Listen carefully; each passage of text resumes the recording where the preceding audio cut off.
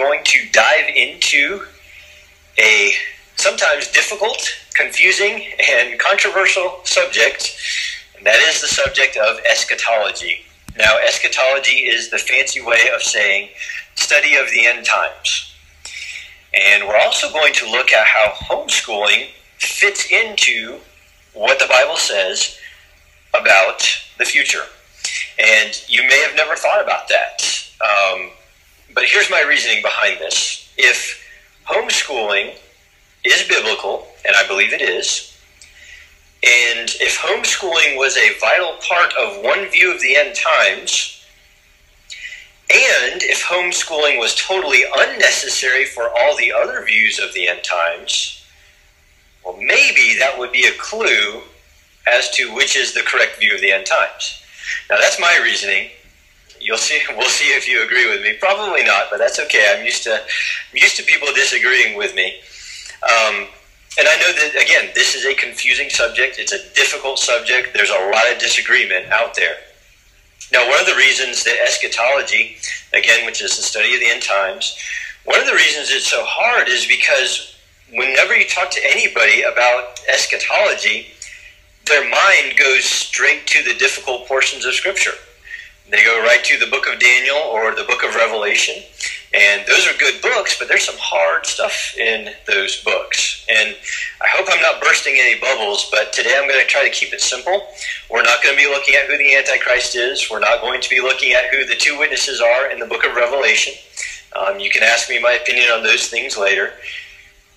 We are going to be looking at some of the easier, more plain, and simple passages that tell us what is going to happen in our future, but also some things that will happen before Christ's return.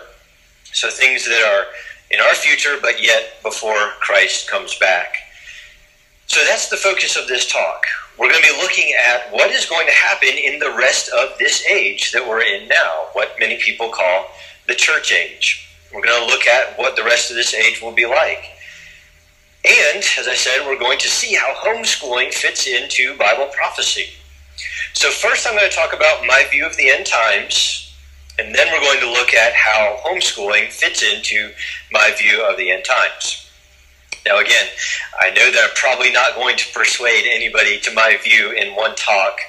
Um, and as I explain my view, you might be thinking, where in the world did this guy get these crazy ideas from? But actually, my view of the end times, even though it's not popular today, my view is basically the same as the Puritans of the 1600s. Um, guys like Matthew Henry, you may have heard of the Matthew Henry commentary. Uh, Matthew Henry held to my view. Some of the Great Awakening preachers like George Whitefield and Jonathan Edwards, they had a view similar to mine. Don't know if you ever heard of Isaac Watts, the hymn writer. He wrote the hymn Joy to the World that we sing at Christmas time. He held to my view of eschatology. Um, some of our nation's founders also held to this view. Uh, actually, in the eight, uh, 1600s, 1700s, even on into the 1800s, most American Christians held to the view that I'm going to be talking about today. Now, not all, but most. In fact, even in my denomination, which is Southern Baptist, uh, most Southern Baptists in the 1800s believed the view that I'm going to be talking about today, and very few do today. So it used to be very common, uh, but it's not so much anymore. So, what is my view? Well, in a nutshell, it's this I believe that the world is actually going to get better and better and better in this age, and not worse and worse and worse, which is totally the opposite of what most people believe. My view is that as the gospel goes forth, that will actually begin to change not just people, but actually whole nations will be changed by the gospel. My view is the belief that God's kingdom has been slowly growing since the first century and it will continue to grow until it covers the whole earth. Then, after every nation on earth has been subdued by the gospel or discipled by us Christians, then Christ will return. Now, if that sounds strange to you, don't feel bad because the first time I heard this view, I was listening to a, uh, a lecture on American history, and this historian was talking about how this was the view that Americans used to have. And my first thought was, you know, that sounds nice. Too bad there's nothing in the Bible that says that. that was that was my reaction when I first heard that view. Well, now that I understand a little more about the Bible, I can say that there are things in the Bible that support that view. So we're going to look at what the Bible has to say about these things. And again, I'm going to be sticking to some of the more clear, simple passages of Scripture. So instead of starting off in the book of Revelation, because you never want to start at the end of the book, we're going to start at the beginning. We're going to start in Genesis chapter 1. Now, as I go through these passages, um, I'll either be reading them from the Bible or paraphrasing them. You're welcome to follow along. I know you may not have brought a Bible to a convention like this, but uh, you might have one on your phone. Uh, so, anyway, we are going to start in Genesis chapter 1. So, Genesis 1, verse 1 says, In the beginning, God created the heavens and the earth. So God created the heavens and the earth. God created everything. God owns everything because he made everything. God has authority over all things. But you know what? He actually delegated some of that authority to us. Genesis chapter 1, verse 28. It says, Then God blessed them, Adam and Eve, and God said to them, Be fruitful and multiply Fill the earth and subdue it. Have dominion over the fish of the sea, over the birds of the air, and over every living thing that moves on the earth. So God has all authority, but He exercises some of that authority through us humans. This is what I like to call the beginnings of the kingdom of God. A kingdom is a realm over which a king rules. God is our king, and he rules over the whole world, but he exercises some of that reign, some of that rule, through us.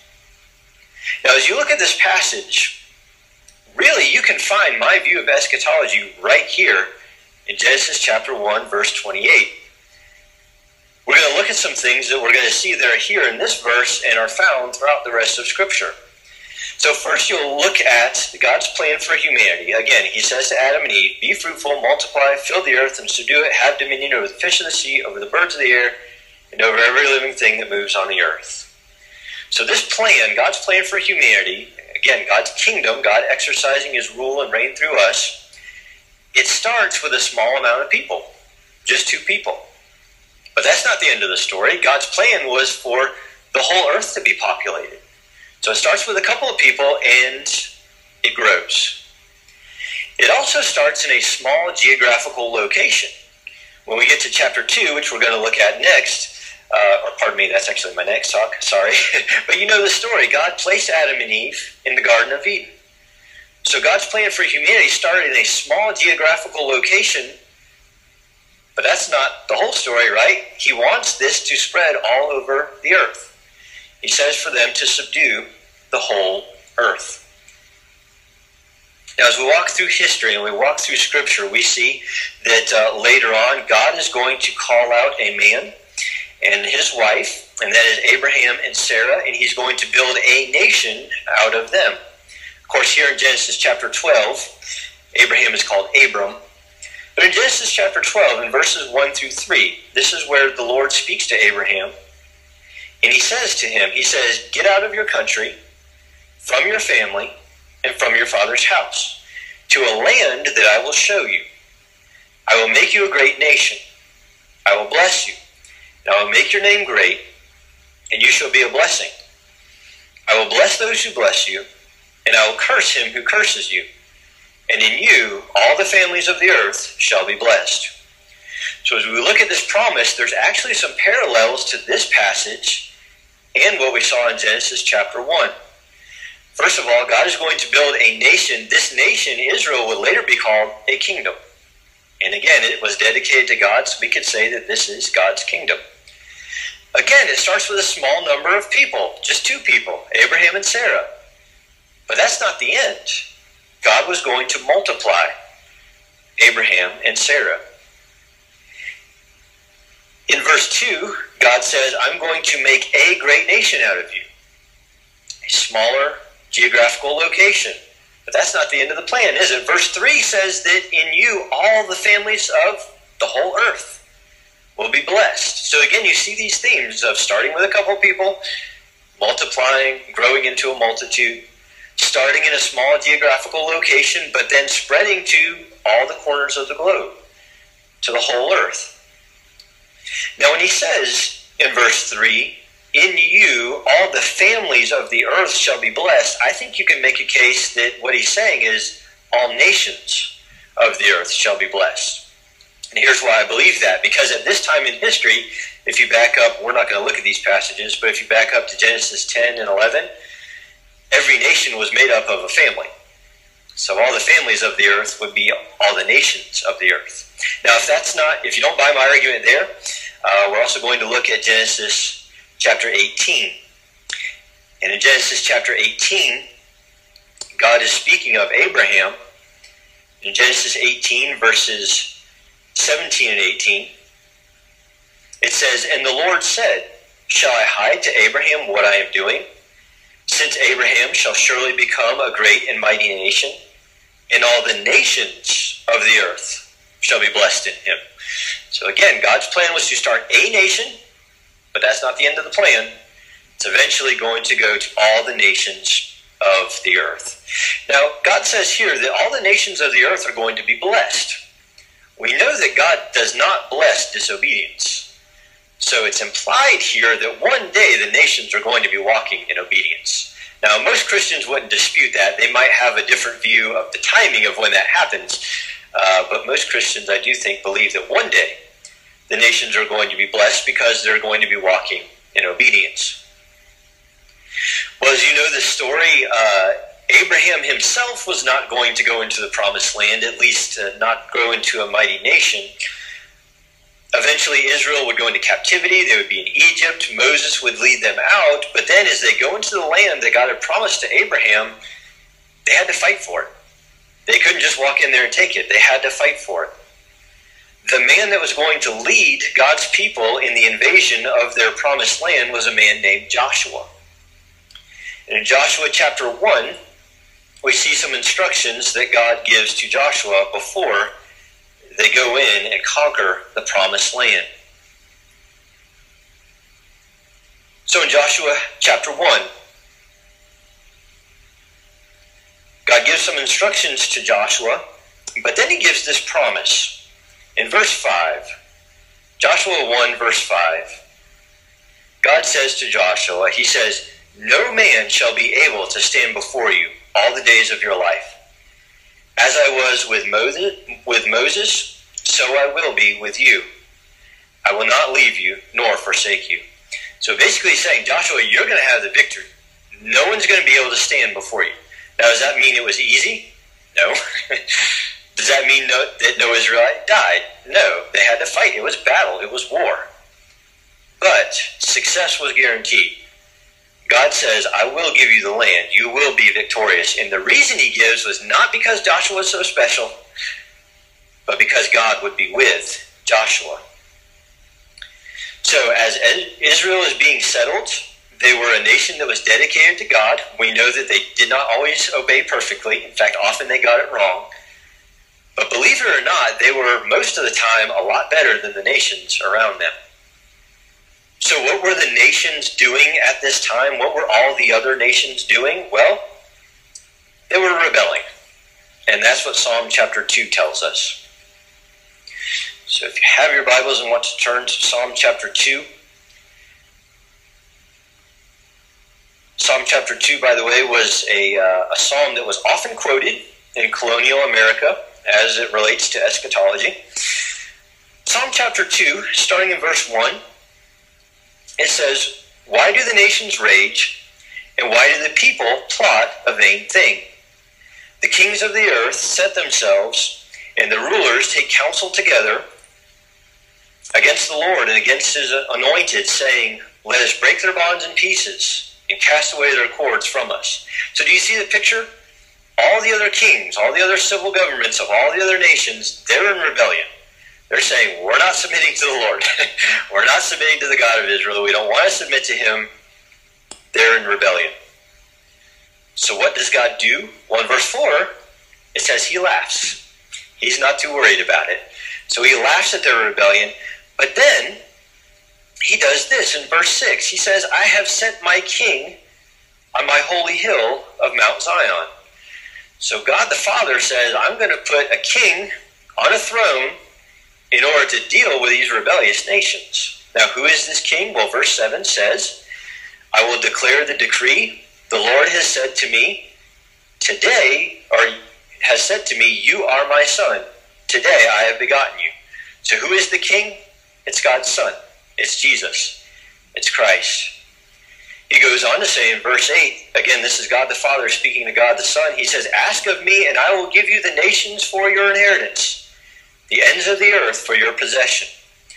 So, what the picture you see here is God is likening himself to a king whose subjects are in rebellion. And so, to take care of the rebellion, what God the Father does is he places his son on the throne and basically says, Son, take care of it. Son, take care of the rebellion. And so the rest of Psalm 2 gives warnings to these kings and judges. Says in verse 10, he says, Now therefore be wise, O kings, be instructed, you judges of the earth. Serve the Lord with fear, and rejoice with trembling. Kiss the Son, lest he be angry, and you perish in the way. So God the Father is saying, My son's now in charge, you better behave. That's a paraphrase, obviously. Well, as we go through the book of Psalms, there is a psalm that is actually very important as it relates to eschatology. And we're actually not going to look at it right now. But this psalm, Psalm 110, verse 1, has been called God's favorite Bible verse. Did you know that God had a favorite Bible verse? Well, the reason this is called God's favorite Bible verse is because out of all the Old Testament verses that are quoted in the New Testament, Psalm 110, verse 1, is quoted more than any other verse. So that's why it's been called God's favorite Bible verse. And as I said, we're not going to look at it now, but we're going to look at the way the New Testament interprets it a little bit later. What, what that verse says is it says, The Lord said to my Lord, Sit at my right hand till I make your enemies your footstool. That's Psalm 110, verse 1. The Lord said to my Lord, Sit at my right hand until I make your enemies your footstool. Again, we'll look into this a little deeper later on. So we've looked at the beginnings of our Bibles. We've looked at some of the Psalms. Um, if we turn to the prophets, we see similar themes happening. If you want to turn to Isaiah chapter 9. And again, this is not an obscure verse. This is a passage that we, at least in most churches, you hear this at Christmas time every year. Isaiah 9, verses 6 and 7. It says this It says, For unto us a child is born, unto us a son is given. Does that sound familiar? Of course, we know the son is Christ. Unto us a child is born, unto us a son is given, and the government or authority or kingdom shall be upon his shoulder. His name will be called Wonderful, Counselor, Mighty God, Everlasting Father, Prince of Peace. Of the increase of his government and peace, there will be no end. So you see, you have the idea of, remember Psalm chapter 2, God the Father giving the government or the authority to his Son. And what was the purpose of him doing that? Was to subdue the rebellious nations. Now, just as we saw in some of those other passages, it's something that happens slowly. It's progressively. It starts small, but it slowly grows. He talks about in verse 7 that the increase of his government, the increase of his kingdom. So again, that suggests that it doesn't happen right away. It starts slowly and increases. By the way, that word increase in Hebrew, it literally means increase. so, so it's an accurate translation. Well, as we turn now to the New Testament, again, we're going to see some very similar themes. So, Matthew chapter 13. Matthew 13 talks about several parables that Jesus gave that pertain to the kingdom. Matthew 13, verses 31 through 32.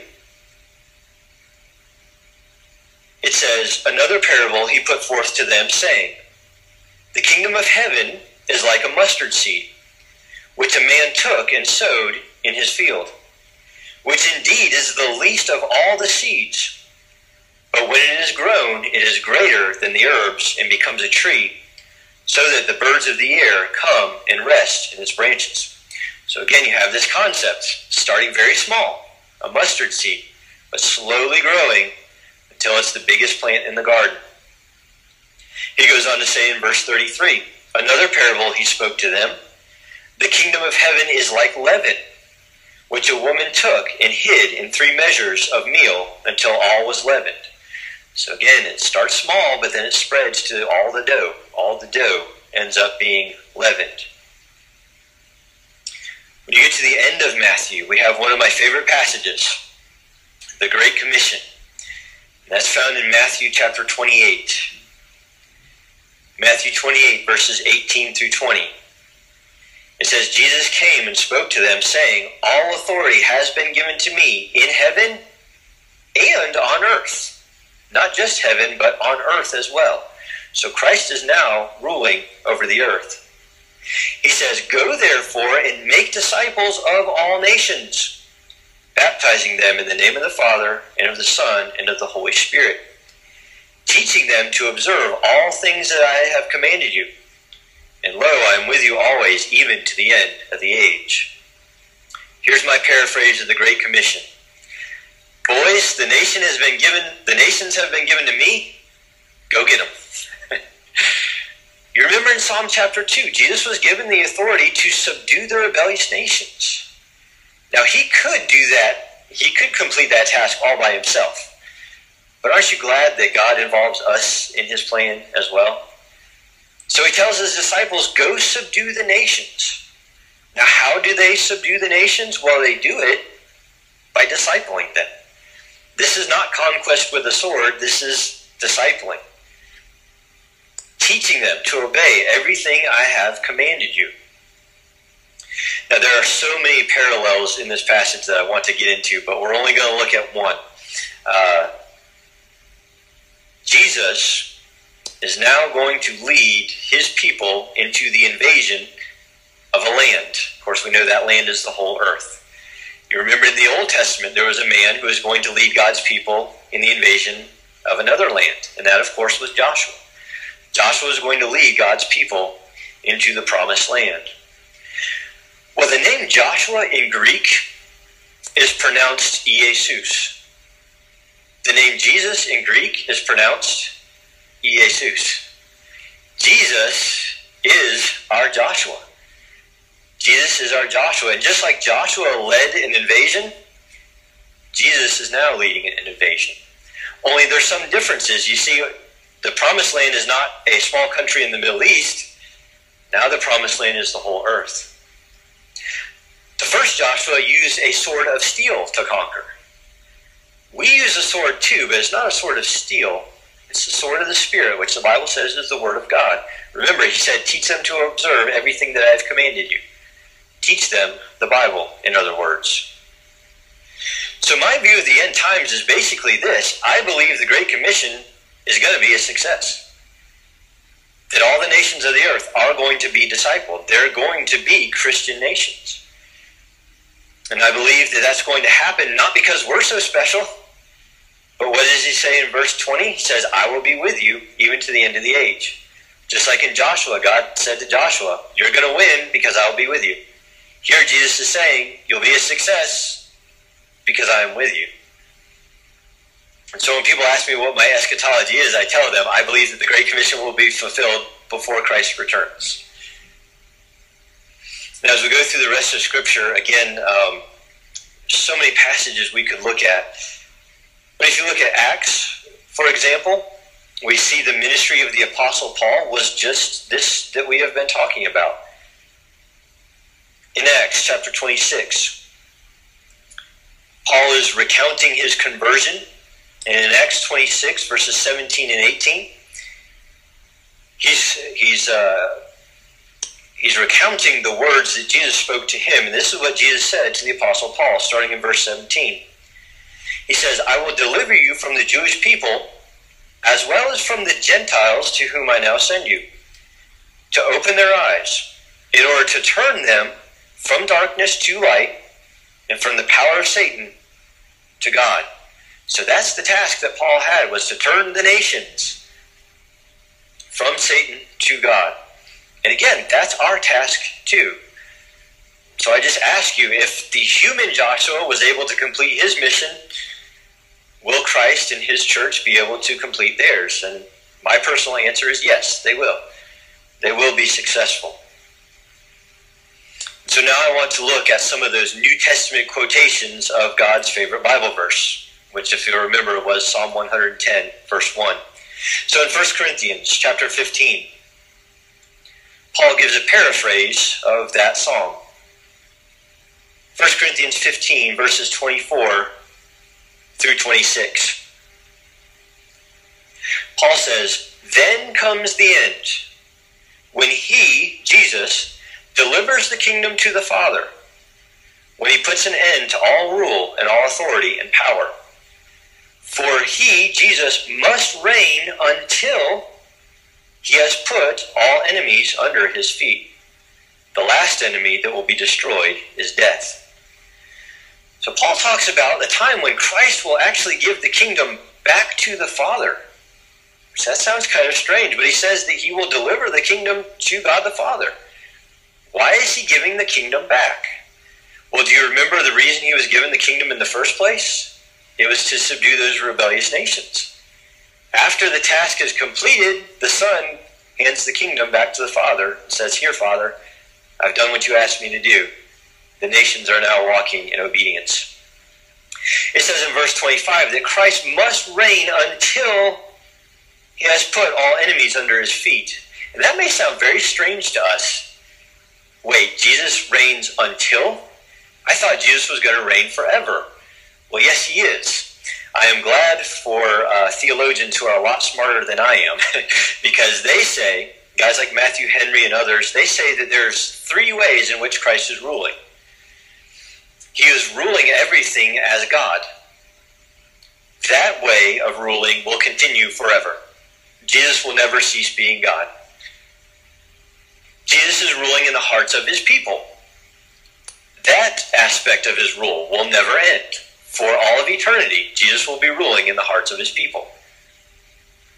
But here, when he talks about giving the kingdom back, again, the rule that he's talking about was that specific rule that God gave to his son solely for the purpose of subduing the rebellious nation. So after that task is done, he gives the kingdom back.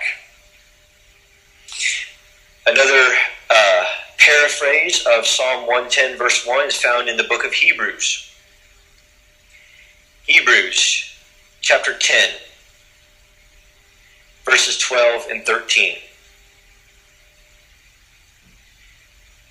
the writer of Hebrews says this. He says, But this man, talking about Christ, this man, after he had offered one sacrifice for sins forever, sat down at the right hand of God. From that time, waiting until his enemies are made his footstool. So you see the picture. Christ comes to earth. He offers one sacrifice for sins forever. And then after he ascended back into heaven, he sat down at the right hand of God the Father. He is sitting on that throne at the right hand of God until when? Until his enemies are made his footstool. So again, I believe that in this age, Christ is subduing the nations. It's a slow process, it's a long process. Sometimes we have victory, sometimes we have defeat. But the kingdom is slowly growing. And after Christ's enemies are subdued, then he will leave his heavenly throne and return to earth. So, that in a nutshell is my view of what's going to happen in this age. Again, if you don't agree with me, I didn't latch onto this view the first time I heard it. I thought it was pretty crazy. But after some more study, I obviously now believe it. That's my view of the end times. And now I want to try to answer the question okay, so what does this have to do with homeschooling? Well, home education is actually a vital part of these prophecies being fulfilled. God's plan throughout the centuries has been for us to do His will in our lives, but also to teach others to do God's will. That's how the kingdom grows through discipleship, through teaching all nations to obey God's commands. And of course, that starts with individuals. Now, in the Garden of Eden, Adam and Eve were told to do God's will in a small geographical area, but they were to multiply.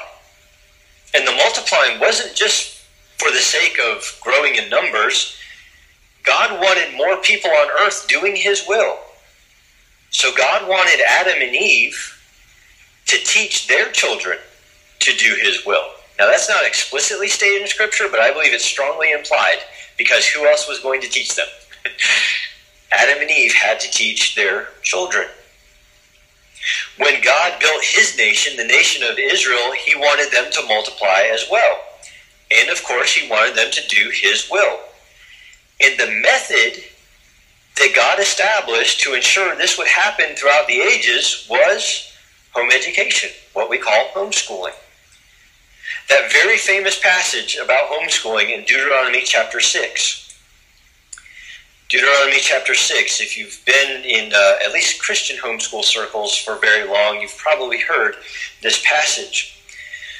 Well, this passage starts in verse 5. and says in Deuteronomy verses 5 and 6, it says, You shall love the Lord your God with all your heart, with all your soul, and with all your strength. And these words which I command you today shall be in your heart. In other words, love God by doing his will, doing what he told you to do. But then he says this, verse 7 You shall teach them diligently to your children. You shall talk of them when you sit in your house, when you walk by the way, when you lie down, and when you rise up. So that's how God chose to disciple the nation of Israel, was by parents educating their children. You know what? I believe that's one of the main ways that he has chosen for us to disciple the nations is by educating our children, whatever children that God will grant to us. Remember, the book of Deuteronomy was given to the Israelites just before they were going to go into the promised land. So Deuteronomy is what I like to call God's instructions for building a godly nation. One that wasn't in rebellion like all those other nations that we looked at. As you go through the book of Deuteronomy, you see many times God says, Obey my words and teach your children to do the same. It's not just mentioned once, it's mentioned many times, over and over and over again. You do God's will and teach your children to do the same. By the way, nothing's changed in the new covenant. Parents are still the ones being told to educate their children, right? In Ephesians chapter 6, verse 4, it says, Fathers, Bring up your children in the training or teaching and admonition of the Lord. Now, when he says to bring them up in the teaching or training or admonition of the Lord, it means in the Lord's will. In other words, teach your children to do God's will. Why? Well, because that's how the kingdom grows.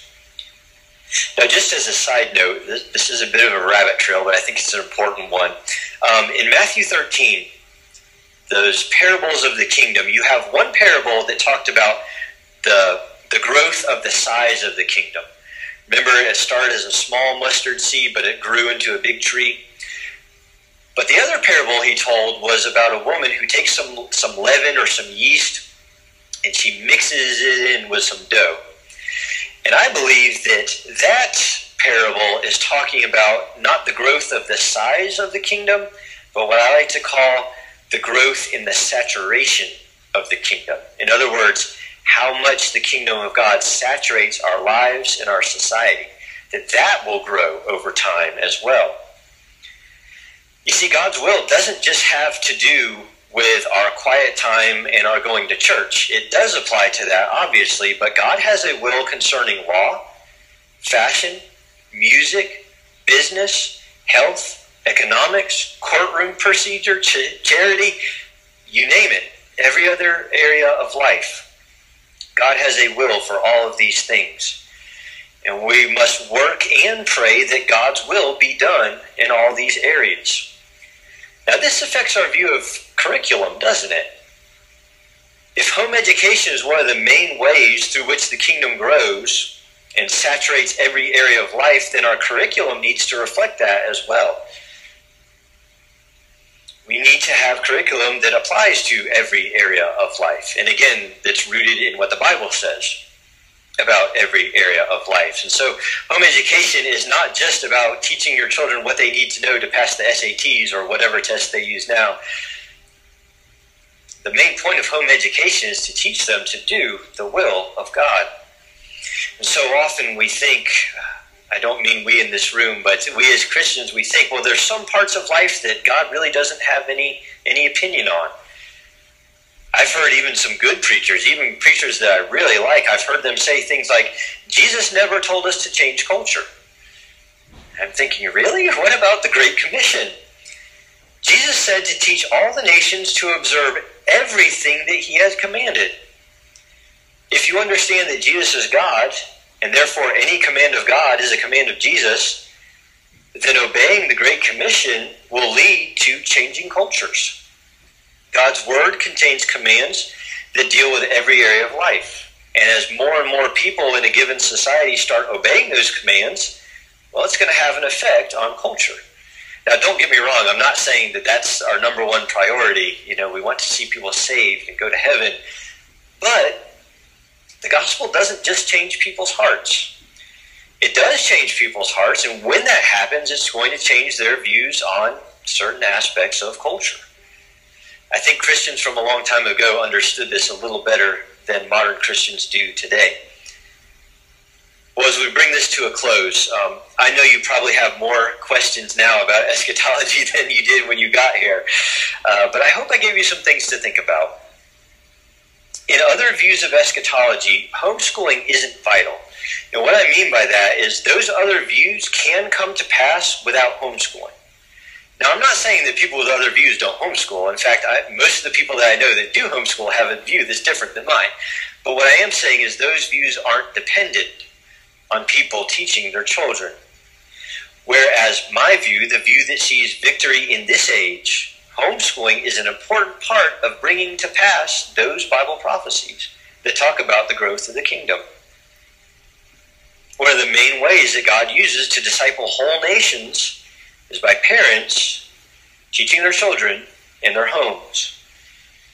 Now, again, I mentioned that in early America, a lot of people held to these views as well. And as you as you look at early America, you see that most of them had this view of eschatology. It was the most popular at that time. Now, not everybody held to this this view, but most did. Not only that, but home education was the most prevalent form of education at the time of America's founding. Again, there were other forms, but the most prevalent was home education. So, in my opinion, if you have the correct view of the end times and you have a correct view of education, those are some of the things that made America great. Now, those weren't the only things, of course, I believe that they were a factor. So, do you want to restore America? Believe what they believed back then and do what they did back then. And then maybe by God's grace, if He wills, maybe one day our nation will be a, a discipled nation once again. So, thank you for your attention, and thank you that no rotten tomatoes were thrown at me for me giving you a different view of the end times. Um, we do have time for questions, um, and if you want, I can turn the microphone off. I would just mention that I have written a book on this subject, not about how homeschooling relates to the end times, but I have written a book on the end times. Uh, we just looked at a few passages. I've actually got several more in the book. I'm with uh, Fifth Kingdom Ministries, and I do have a booth out there, so you are welcome to look at that as well.